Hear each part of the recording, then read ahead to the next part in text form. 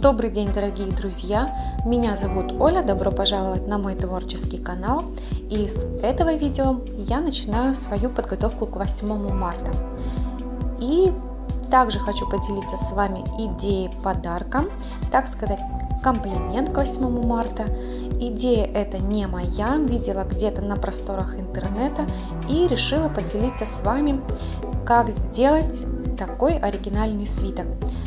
А, вовнутрь я положила конфетки, ну можно добавить какие-то пакетики чая или вообще что-то другое. И давайте приступать.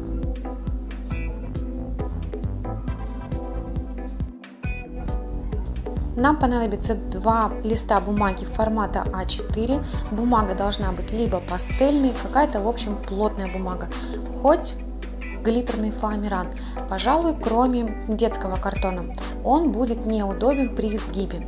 Один листочек у нас будет основа, а на втором листочке я нарисовала схему, рассчитывала сама и обязательно ссылку оставлю в описании. Заходите, распечатывайте или скачивайте. И делаем теперь саму основу.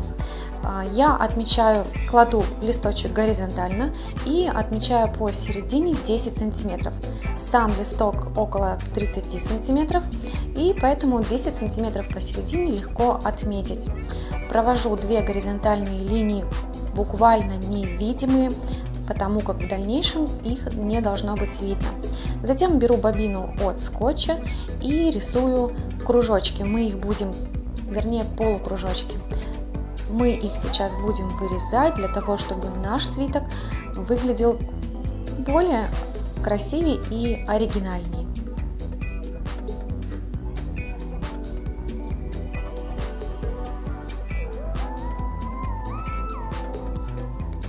Затем беру две металлические линейки и складываю, э, делая загибы.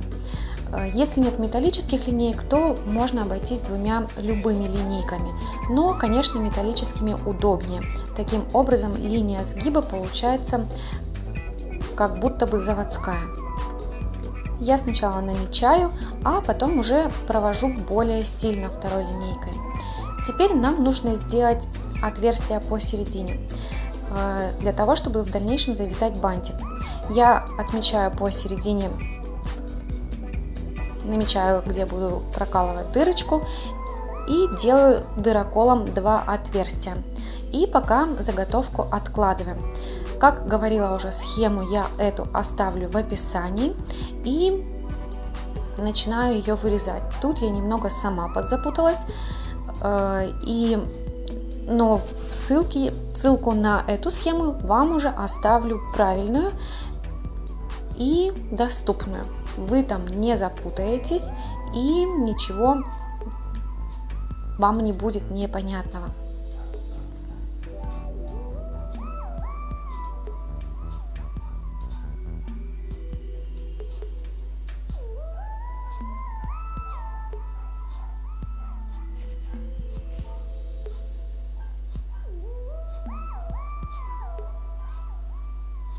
Вот так у нас уже прорисовывается какая-то более-менее заготовка. Затем опять с помощью двух металлических линей я делаю э, линии сгиба практически по всем тем линиям, которые у меня прорисованы. И после того, как я уже все согнула, у меня что-то уже становится похоже на э, вот эту вот нашу внутреннюю коробочку.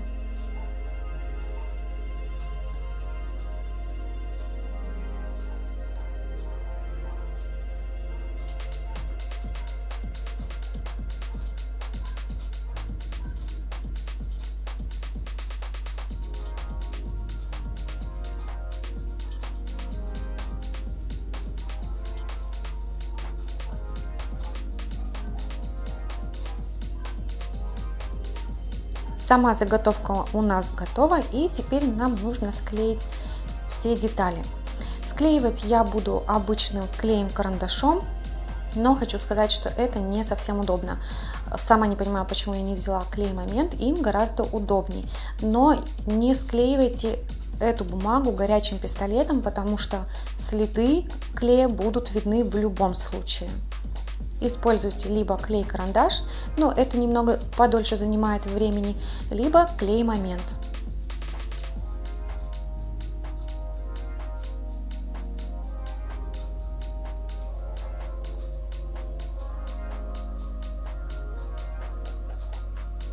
Мне не совсем привычно было удобно и неудобно э, пользоваться этим клеем. Я прям не привыкла.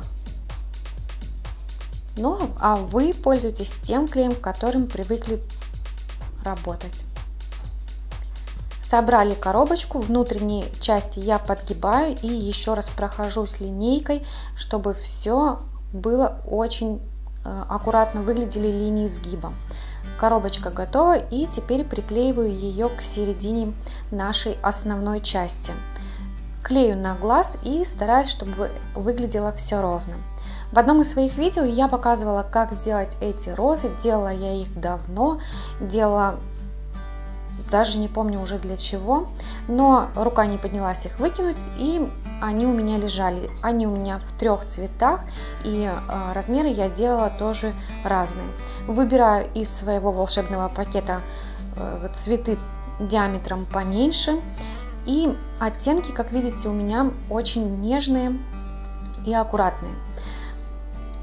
И самое, что интересно, э, удобное в этих цветах, что они уже с листиками. Выбрала несколько цветочков и теперь буду декорировать. И после того, как я уже начала делать видео, я поняла, что приклеила 6 цветочков. Не повторяйте за мной этого. А, я в дальнейшем доклею еще один цветочек и у меня будет нечетное количество.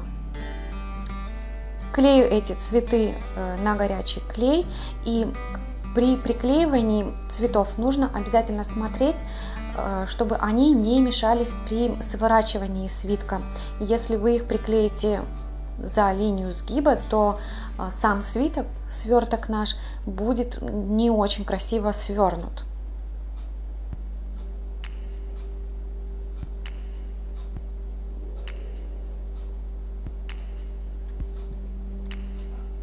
И задекорировать, конечно, можно было бы еще чем-то большим, добавить какого-то еще мелкоцвета, может быть ягодок. Я показываю лишь идею, а вы уже решайте сами, чем вам дополнить или как-то, может быть, выбрать другие цвета. В общем, смотрите все по своему вкусу.